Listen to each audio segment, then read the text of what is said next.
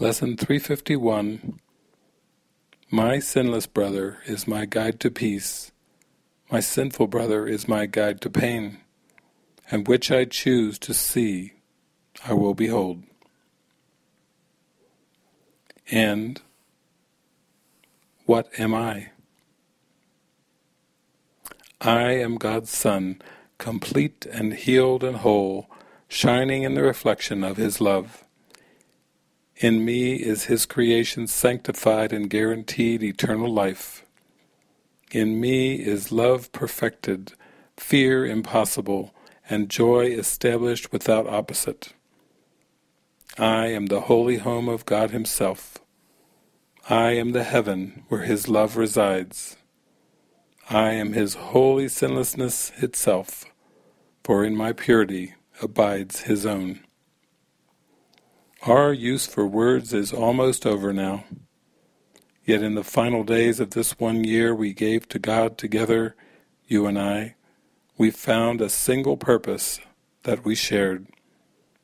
And thus you joined with me, so what I am are you as well. The truth of what we are is not for words to speak of nor describe. Yet we can realize our function here and words can speak of this and teach it too, if we exemplify the words in us. We are the bringers of salvation. We accept our part as saviors of the world, which through our joint forgiveness is redeemed.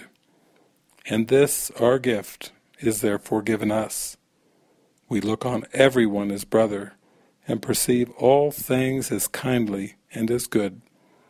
We do not seek a function that is past the gate of heaven. Knowledge will return when we have done our part.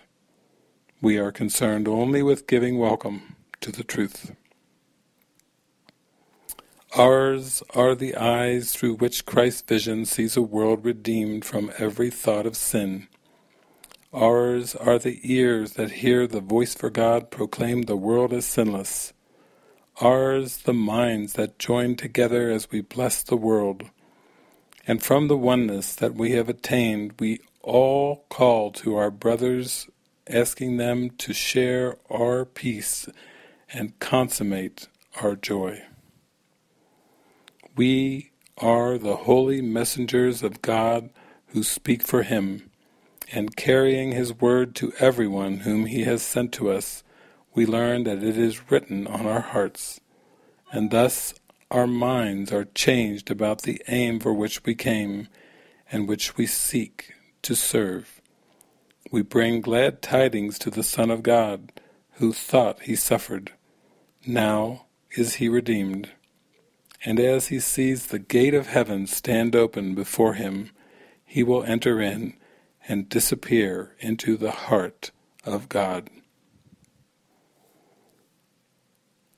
Lesson 351 My sinless brother is my guide to peace, my sinful brother is my guide to pain, and which I choose to see, I will behold. Who is my brother but your Holy Son?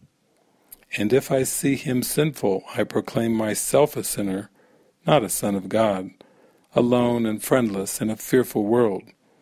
Yet this perception is a choice I make and can relinquish. I can also see my brother sinless, as your Holy Son.